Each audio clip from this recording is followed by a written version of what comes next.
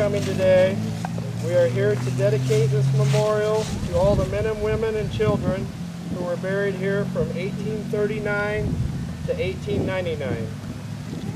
Here to tell us about how the Green Slope Cemetery came to be is Anita Kopetsky from the Marshall County Historical Society. Anita is the direct descendant of some of the oldest families buried here. Anita?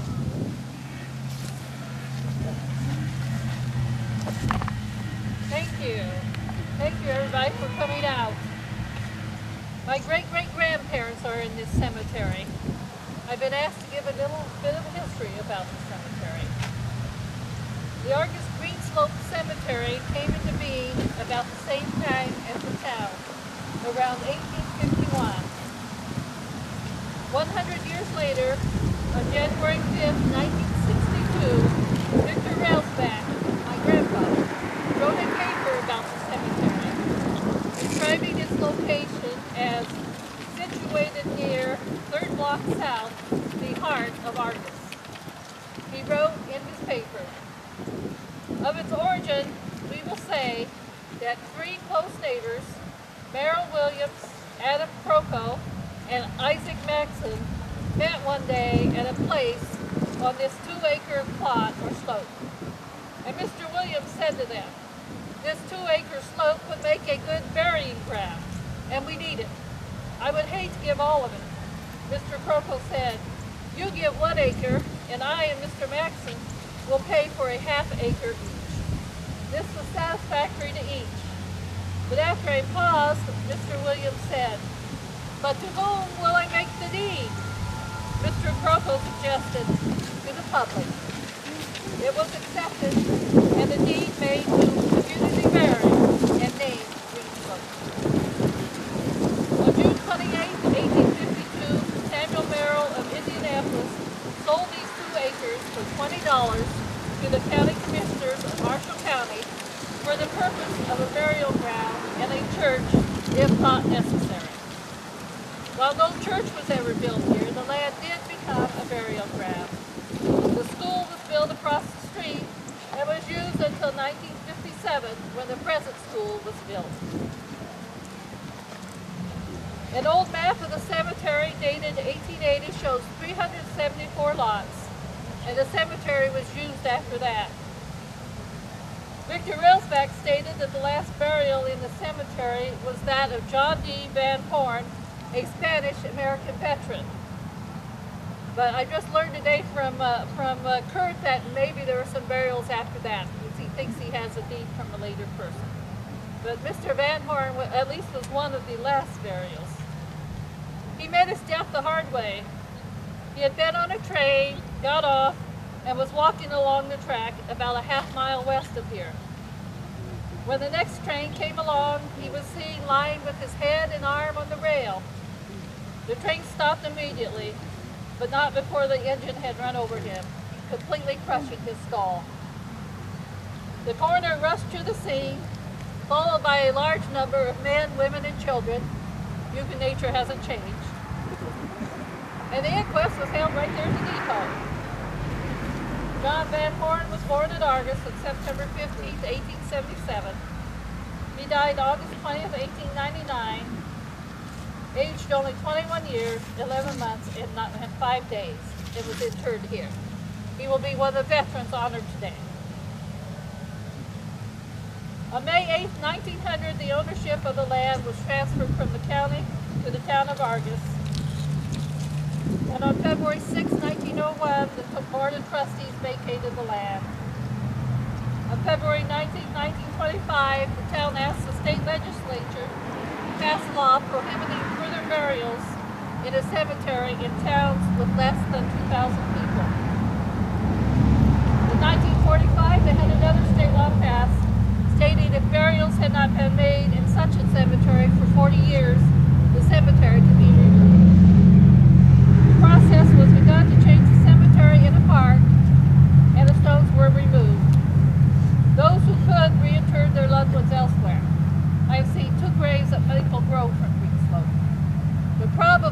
majority of those who were buried here are still here. A reading was taken of the cemetery in 1945, right before the tombstones were removed. At that time, the cemetery was almost 100 years old, and some stones had already sunk into the ground or were illegible. Council promised that a memorial would be put in the park with the names of all who were buried here. That did not happen. It did not happen in my grandfather's lifetime. It did not happen in my mother's lifetime. But now, it has happened.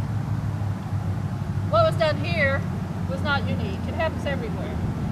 The old Washington School in Plymouth was built on the site of that town's first cemetery. Indianapolis' first cemetery was removed, and they put a medical building on the site. It's right across from Riley Hospital. They finally put up a small plaque a few years ago for that cemetery after a group of Barnhill descendants made some waves. And the same thing happened in New York City and in San Francisco. The well-known parks in those cities, they were once cemeteries. And every once in a while, a long dead body still shows up. so repurposing cemeteries is not unique or unusual. But what is unique and unusual about this place here is that now, after 71 years, the town council is rectifying the situation. The current town council is keeping the promise that was made to us 71 years ago to those families whose loved ones are buried here. The current town council has done what is right. Now, memorial has been put up. That 1945 cemetery reading as the basis for the names put on the marker, and others were added as they came to, to the attention of the council. In my genealogy research, I had obituaries of additional family members not in the reading that had. Lisa has made a very great effort to locate all the names of those buried here, and Dustin's wife Donna's worked along with her. Still, there may be those whose names have disappeared by 1945 that we could not discover. We may not ever know all who lie here. Only the Lord knows. And on that last day, when He returns, at that time, all will come forth from their graves. And many may be surprised where they ended up being buried. In conclusion, my family would like to thank those who worked so hard to make this possible. Lisa, Dustin, the rest of, of the town council, and everyone else who contributed to make this monument a reality. You have gone out of your way to do this, and you have made sure that it would happen. After 71 years, it has finally happened. The memorial is here, and not only that, all the names are on it. Thank you. It would have meant so much to my grandfather who worked so hard to keep the cemetery intact. It means a lot to me. It means a lot to all of us who have family here. Thank you. Thank you. Now the promise of 71 years ago has been kept. Thank you.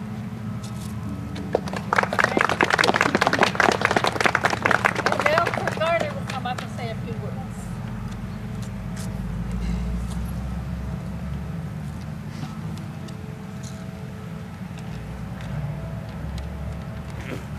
Well, thank you. It's an honor to be asked to, to speak a little bit um, as we memorialize our ancestors and the pioneers buried at this historic cemetery. It's a fitting day to do it, obviously, as you acknowledge uh, the veterans who are laid here to rest. Uh, I've said before, my roots in Argos go pretty deep. Uh, the community wised up and ran us out of town back in the 1950s, so just kidding. The first of my ancestors uh, laid to rest here occurred in the 1850s, the Chapmans, and you'll see many of the names on the stone. They moved here to, uh, to Walnut Township from New York in about 1843. However, I'd like to mention the last of my ancestors interred here, and that's William Moore and his wife. William, with all of his six brothers, served in the Civil War. Only he and three brothers returned. William was captured and placed in a southern prison where he carved a ring from a horse bone, and it's in the county museum today. William and his brother Frank came to Argos in 1865 and started a sawmill. But the work was too difficult for William, who continued to suffer from an injury he sustained in the war, so he opened a drugstore in town. William died and was buried here in 1893. It's important that we take time to memorialize those who came before us, who built our communities, from whom so many of us descend. It is important that we speak their names, lest we forget the hope and the promise, tempered by hardship and toil, they felt as they embarked on establishing this community that we in past generations have called home. And of course, particularly on this day, it is important that we remember those buried here who served, like William Moore and many others who courageously held our country together in the darkest hours. A sacrifice very few of us can understand the magnitude of loss to offer a hope that so often we take for granted.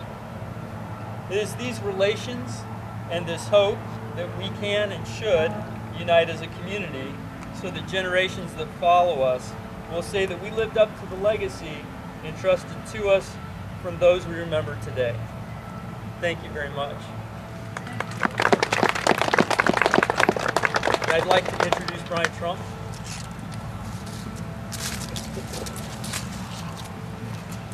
I want to honor the veterans uh, that have been buried here. America is a great nation, strategically placed in history by God Himself to be a light of hope to nations, to stand and proclaim the truth of freedom in a world that's absolutely filled with tyranny, and to proudly display the best of what mankind can be. Greatness always comes with great responsibility. And with that, why are we here? Why do we enjoy the freedoms that we have today? It's because men and women in our armed forces understand that freedom always has a cost. Since the birth of our nation, we have been incredibly blessed brave men and women who have stepped forward, taken the cause of freedom upon their shoulders, paid the cost, and chose to lay down their lives for their fellow countrymen. And we honor them today. And not only do we desire to honor them, but it's our great desire to pass on these great truths to the next generation so that we never forget. We never forget. Freedom always comes with a cost. And that cost is going to be blood. Let's go to the Lord in prayer. Second Samuel says, The Lord is my rock, in whom I take refuge, my shield, and the horn of my salvation. He is my stronghold, my refuge and my Savior from violent men. The Lord is worthy of all praise. I call upon him, and I'm saved from my enemies. Heavenly Father, Lord, we thank you so much for the victory that you have given to us. The victory of America. Lord, we pray that you would protect us from the enemies of our freedom, both outside and. Lord, we thank you for the brave men and women of our armed forces. Protect them, Lord, all who are overseas. Lord, bless the families of those who've lost loved ones in our wars. Lord, we thank you so much for those who've laid down their lives for this country. Honor their sacrifice. We pray that you would honor their spilled blood. Continue to lead us and guide our country to be the greatest force for good in this world. Let the light of our country burn brightly and inspire others to stand for freedom over tyranny and destruction. We pray that you would bless our newly elected president and vice president. Your will be done. In Jesus' name, amen. This time, the American Legion Color Guard, led by Jerry Becker, be presenting to us. One, one. Four, arms. Present, arms. Huger, sound off.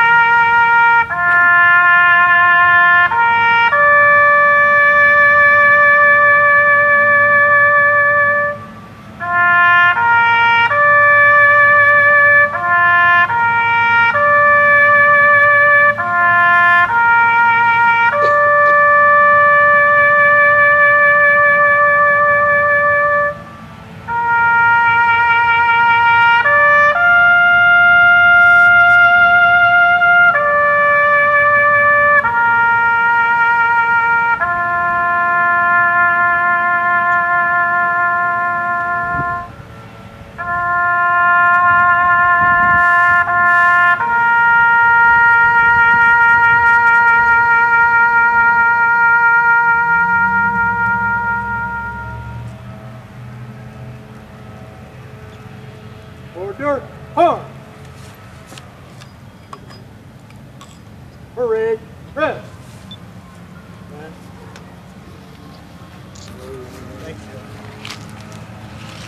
This memorial stands as, I'm sorry, this memorial stands as a fulfillment of a promise made by the Argos Town Council in 1945 when the cemetery was replaced by its memorial park. It might have taken 71 years to honor that promise, but on behalf of the Argos Town Council, I would like to take this opportunity to thank a few people who were instrumental in making this happen. First, the members of the families who came to the council meeting to remind us of a promise that was made. Second, Bob and Jana McKay for initiating the process. Third, Anita Kopetsky from the Marshall County Historical Society and Jane Hall from the Argos Town Library for help with lists of names. Fourth, my loving wife, Dawn Johnson, which is standing back there by the car right now, watching the granddaughter, for comparing the list of names from different sources to compile the list of names which you see on the memorial today. Fifth, Alan Earl from Earl Grossman Funeral Homes for getting us prices on the cost of the memorial and donating his time for doing so. Alan, right there. Sixth, the Argos Town Council members for approving the funds to honor this promise. There's Suzanne Umbaugh, Town Council member, and then we have uh, Randy Sneed back here. Uh, Seventh, seventh is the Town of Argos employees for a job well done on getting the spot ready and helping to set this monument. All, of course, also, of course, Van Wert Memorials for completing the job on time and working with us to make this memorial happen. And finally, the members of the families who helped us by providing names of loved ones they knew to be buried here. In closing, and on behalf of the Argos Town Council, I would like to say, hopefully for the descendants of the families buried in this Green Slope Cemetery, you will find this to be a respectful representation of your family members. And with this memorial, may all residents realize the history that, that, that has made this town a great place to live and raise a family. Thank you all for coming out.